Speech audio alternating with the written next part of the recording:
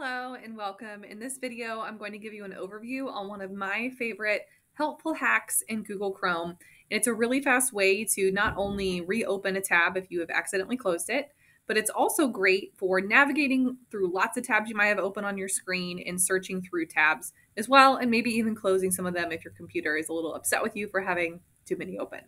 So if I am on Google Chrome, uh, whenever I have a window open in Chrome, there's this helpful little caret button over here and that is what you're going to use. So it's beside the minimize window button near the change your window size button, and it's called search tab. So if you click that little down arrow, what you are going to see are some helpful things.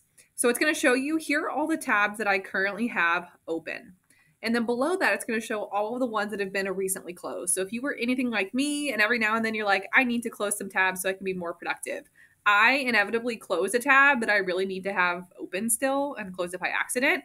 And then I don't always remember what those tabs were. So this is a really quick way of restoring those. So if I close my Google Drive and I'm like, oh, I still actually need that, or I still need this presentation, it'll show me when I closed it. And then if I click the button, can easily have that open once more.